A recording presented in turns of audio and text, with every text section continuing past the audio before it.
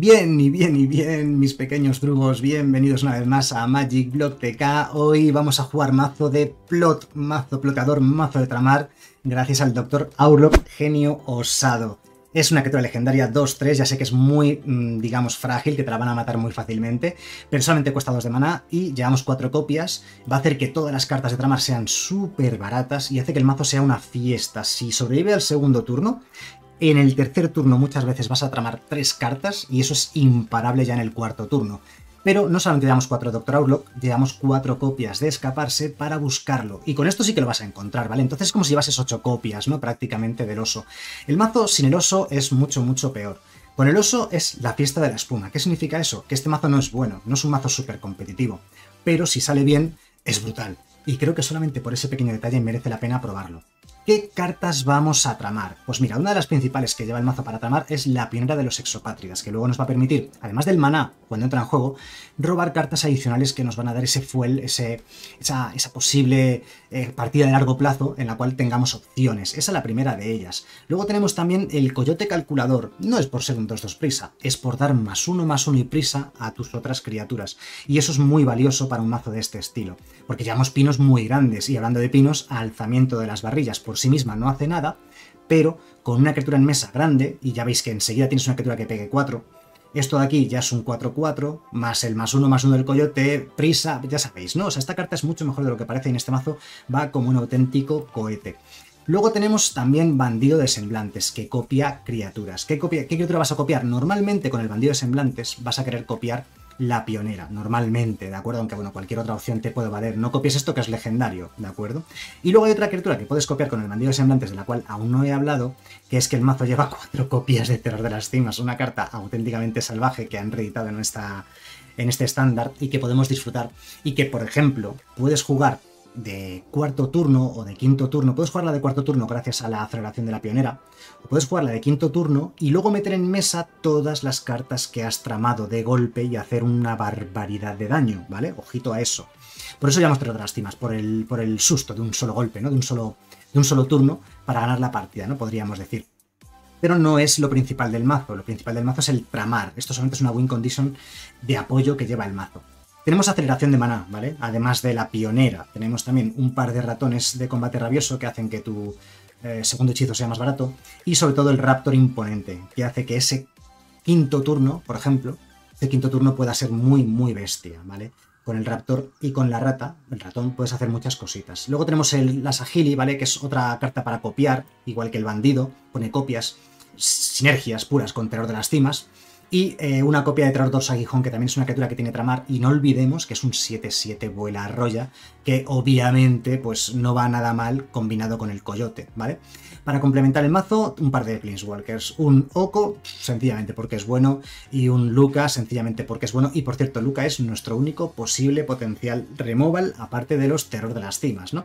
Como siempre, debajo del vídeo en la descripción el listado completo del mazo para que lo podáis exportar a Magic Arena. Ya os digo, no es un mazo que sea un pepino, no es un mazo que os recomiendo en absoluto para intentar llegar a mítico, pero si tenéis las cartas y queréis divertiros, eh, lo podéis modificar un poquito a vuestro gusto si queréis, podéis quitar algunas de las míticas, no quitaría los tres de las cimas, pero podéis quitar las agili, los planeswalkers, no son cruciales, se pueden quitar y cambiar por otras cosas, y podéis modificarlos por otras cartas eh, que tengan tramar para darle un poquito más de empaque al mazo. Divertido es, eso sí, si sale bien es divertidísimo, recomendado para pasarlo bien, no recomendado para ganar partidas.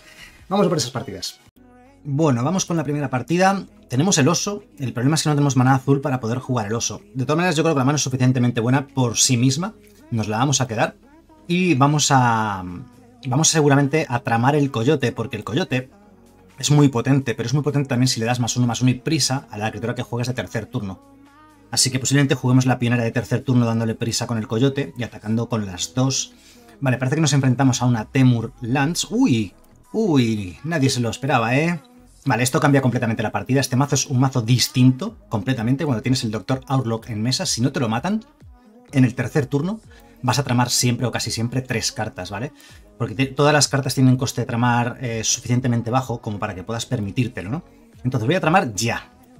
No le voy a dar la oportunidad al rival de que me mate alguna criatura en respuesta o algo por el estilo. Tramemos, tramemos. Me ha tramado mal la... Vale, genial. O sea, Magic Arena, eres, eres, eres estúpido, Magic Arena me ha girado el maná rojo para tramar una carta verde. Y ahora no tengo mana rojo para tramar el coyote. Bueno, maravilloso. Eh, Magic Arena siempre demostrando grandísima calidad. bueno, viene ahí Misa y no hemos robado tierra. No pasa nada. No pasa nada. Porque vamos a jugar un segundo oso. Vamos a jugar la... Sí, vamos a jugar la pionera y vamos a jugar el alzamiento y encima vamos a robar carta. Porque el alzamiento va a entrar como un 4-4. No voy a aprovechar el mana de la pionera. Bueno, sí, podemos tramar esto, claro.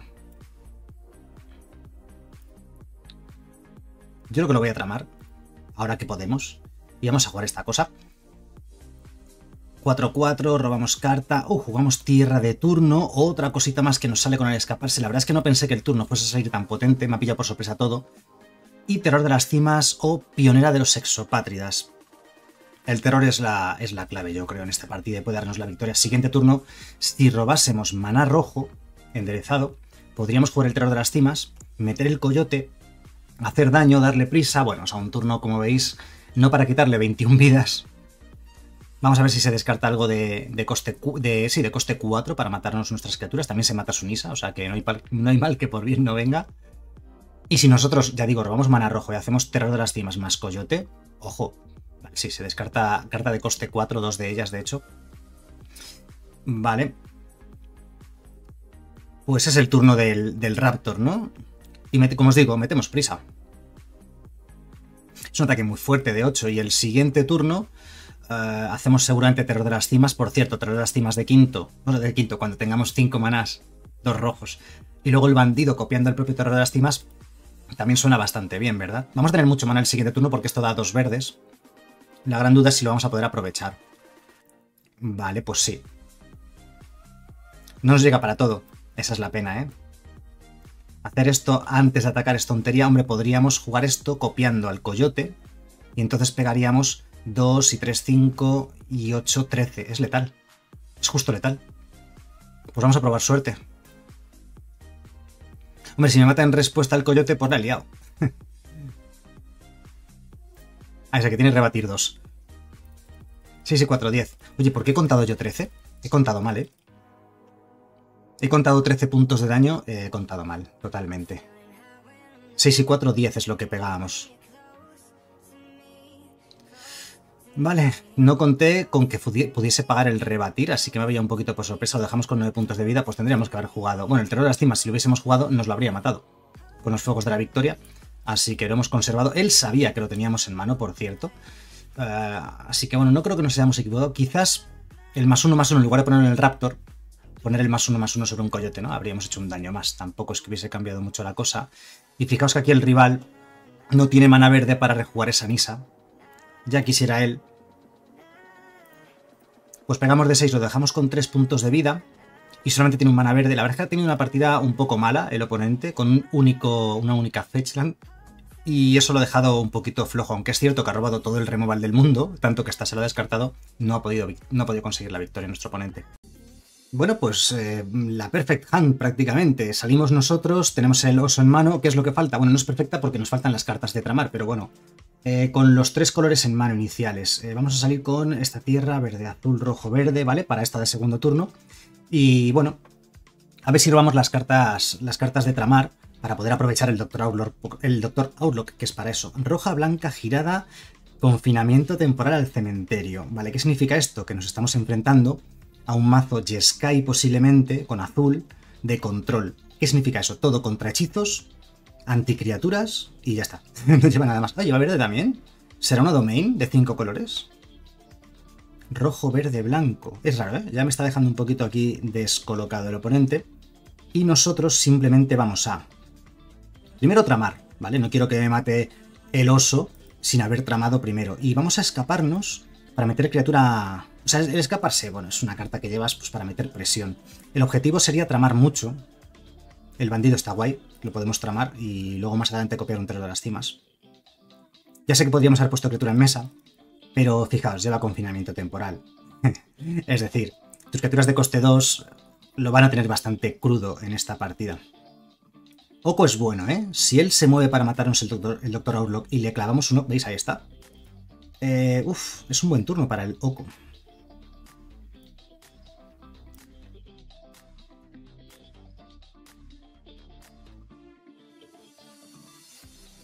Es un buen turno para meter un Oko, ¿eh? Un Oko e incluso... E incluso meter presión con el Coyote este turno, ¿verdad? No, no, porque es mucho mejor... Es mucho mejor... Eh, hacer, si, si tenemos la oportunidad, hacer troto de las cimas más Coyote, va a ser mucho más bestia, ¿no? Y quedarnos enderezados mientras tanto, mientras no lo veamos claro. yo no sé de qué va el mapa del oponente, pero es una pura fantasía. Vale, hélice de relámpagos. Eh, nos mata loco eh, y gana tres vidas. Y por un bloqueador 3-2, ¿no? O sea... Vale, bien. Tú ganas, amigo, tú ganas. Eh, el ataque no es bueno, pero...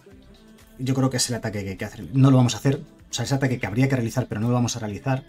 Voy a seguir tramando cosas, como digo, para intentar pillar por sorpresa al oponente. El coyote sería interesante, ¿vale? Para que esto sea un 4-4.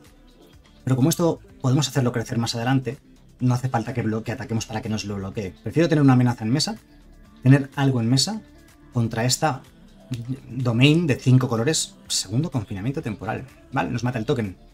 Pero se ha girado por completo y encima ataca, ¿vale? Es nuestro turno. ¿Es nuestro turno? Yo creo que sí. Yo creo que es un turno para mover ficha, ¿eh? Vamos a jugar la pionera, tal cual. No vamos a aprovechar el mana, eso es lo malo, creo.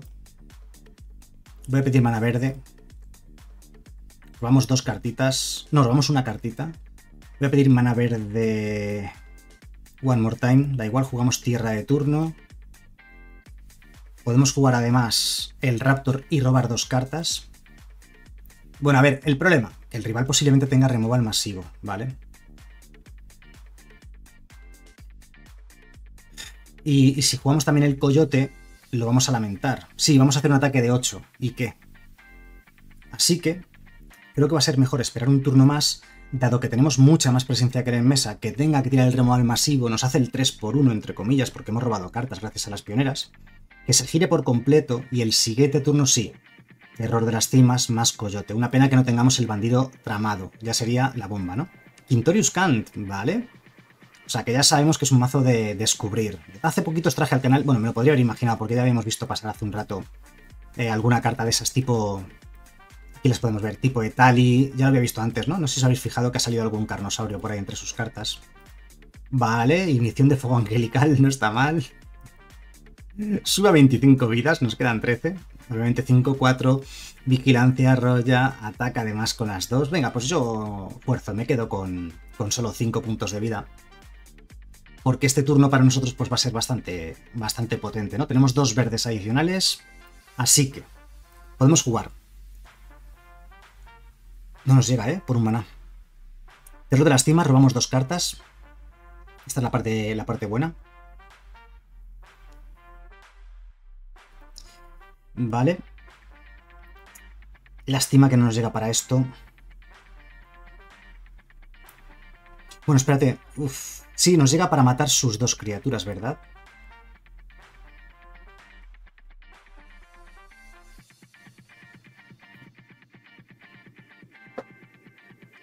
No, no nos llega para matar a las dos, porque esto es 2-3, esto es 2-2, esto no nos llega para jugarlo. Bueno, sí, sí nos llega, espérate, claro, porque... No, no nos llega, no. Hacemos dos puntos de daño a ese, ¿vale? Esto lo podemos tramar por un mana azul. Jugamos el coyote. Coyote que da más uno, más uno y prisa. Dos puntos de daño al Quinturuscan para matarlo. Y más uno, más uno y prisa. Supongo que al terror de las cimas. Y tramamos esta cosa. Vale, y ahora, a ver, ¿con cuántas criaturas atacamos? Con todas, ¿no? Porque perdemos. Tiene un 5-4 al cual le va a dar más 1, más 1, arrollar y un montón de cosas. Pegamos 6 y 5, 11, 15, 19, 21. Qué pena que tenga 30 puntos de vida, ¿verdad? Vamos a atacar con esto. Y con esto. Y necesitamos un montón de resistencia. Y con esto. Con lo que no voy a bloquear, básicamente. El, que no va a bloquear es él, supongo, lógicamente. Y entonces podemos bloquear con esto, con esto. Bloqueo con todo, ¿vale? Ya el Doctor Block no lo necesitamos. Y el siguiente turno con este bandido copiando el propio Toro de las Cimas, o copiando el Coyote, ya veremos, eh, sería suficiente. Tres tierras en mano, ¿eh? Muchas tierras tenemos. Vale, el rival se lo come, lógicamente, no le compensaba el bloqueo. Tiene 16 puntos de vida. Nada, pero tendríamos que copiar el propio de las cimas, casi seguro. Robaríamos dos cartas y seguro que algo con algo enlazaríamos, ¿no? Ya sé que perdemos los dos manas del Raptor, hay que bloquear con todo aquí. Él va a volver a ganar 7 vidas más. Pero no, se la juega a un segundo tasador que le puede salir mal. Hélice de relámpagos, nos quedamos con dos puntos de vida si nos lo tira a nosotros. Madre mía, si ganamos esta partida va a ser épico, va a ser histórico.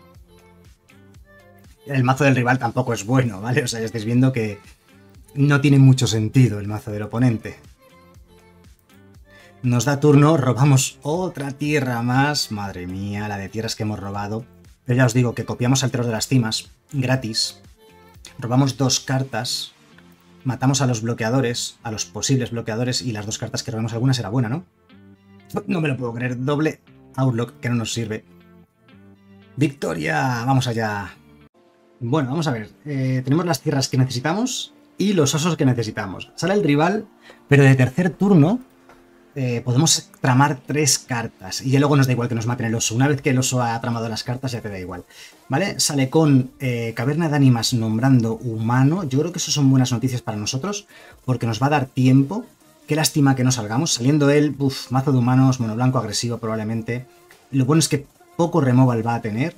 Y Catilda, vale, esto es un poquito extraño, pero...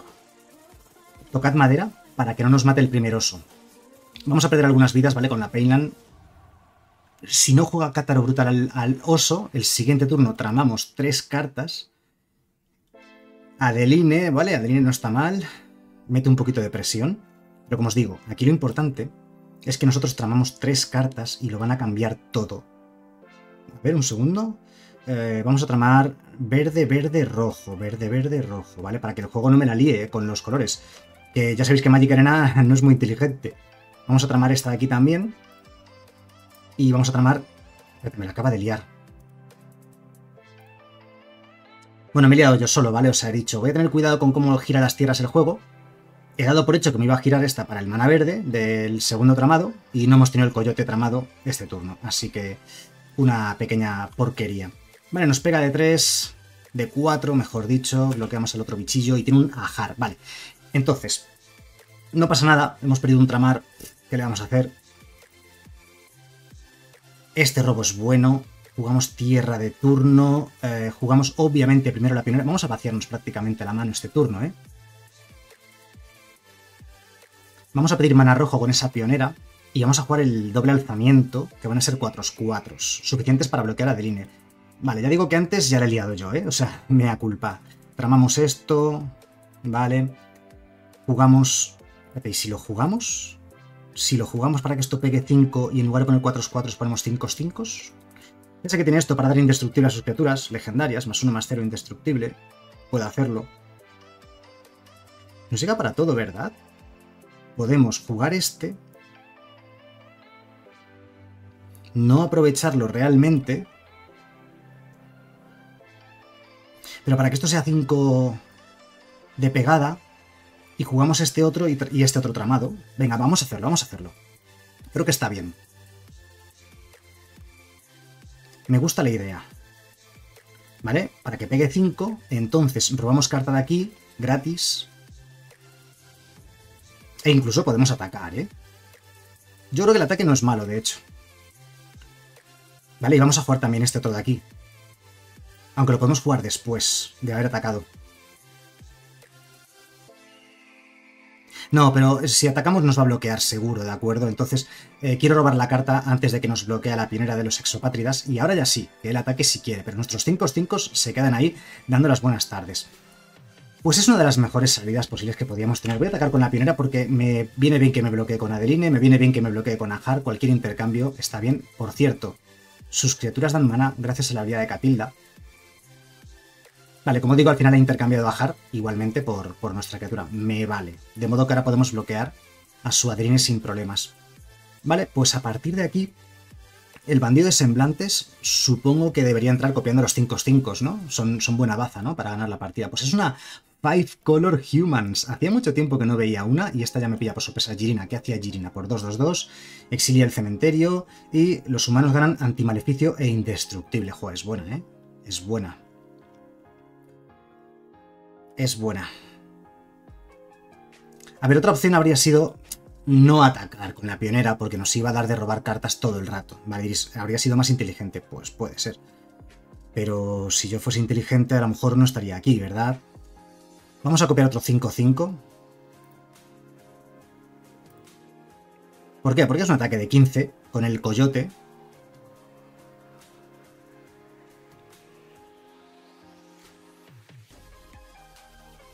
Y al menos podemos decir que metemos bastante presión. Él no tiene ningún bloqueo. Bueno, copiamos un, un rinoceronte, jugamos el coyote dándole prisa al que acabamos de poner en juego. Y como digo, es un ataque de 15 que como mínimo asusta un poco. Y luego si él en su turno decide atacar, pues que ataque, ¿verdad? Atacamos con estas tres. Puedo hacer algún doble block y luego sacrificar Girina, pero perdería un punto de ataque de ADN. Así que tampoco le vale. De acuerdo, pues bajas a cuatro puntos de vida. Y el siguiente turno, vamos a meter seguro otra criatura con prisa en mesa. Ya sé que es de coste 2, pero nos puede valer. Porque le quedan cuatro puntos de vida tenemos mucho... Ahí vino, ahí vino Yoda, ¿de acuerdo? O sea, esto ya es un problema. Este es un problema porque ahora ya sí. Sus criaturas se hacen gigantes, pero como le quedan 4 de vida y tenemos 6, 7 atacantes... Y él tiene 4... Madre mía. Bueno, podemos chumbloquear, ¿eh? Sea, no nos mata. No había pensado que fuesen a hacerse tan enormemente gigantes sus criaturas. Es que lo de Yoda no es normal. Yoda es absurda esta carta, ¿vale? O sea, no se juega el mazo de humanos 5 colores, pero las pocas veces que hemos jugado Yoda aquí en el canal siempre ha sido ridículo a este nivel. Me como el ataque, ¿eh? Nos bajamos a 3 puntos de vida, pero eh, tiene 4 bloqueadores y nosotros 6 atacantes, o 7 incluso, contando esto, o sea que nos da igual, ¿no? 3 puntitos de vida con los que nos quedamos, y tenemos mucho maná, además, para poder jugar casi cualquier cosa. Vale, tierra... Nos escapamos un poquitito, tenemos 4 manás para jugar otra cosa. Vale, que robemos con escaparse. Y eh, no nos sirve ninguna realmente. Más allá de que el daño es letal igualmente, ¿verdad? Podemos jugar cualquiera de ellas, nos da igual. No va a cambiar nada, juguemos lo que juguemos. De hecho es que somos letales, simplemente tenemos que atacar, ¿verdad? Le pasan 4 puntos de daño y se muere. Así que ahí está la victoria. El mazo es bueno, no es muy bueno tampoco, pero no es malo. Es divertidísimo, eso sí, y es un poco locura, ¿no? A veces salen cosas eh, absurdas. Un rival de esos simpáticos que se va a FK cuando va a perder una partida y nos deja aquí colgados. Así que nada, no vamos a poder ver el final porque corto ya aquí.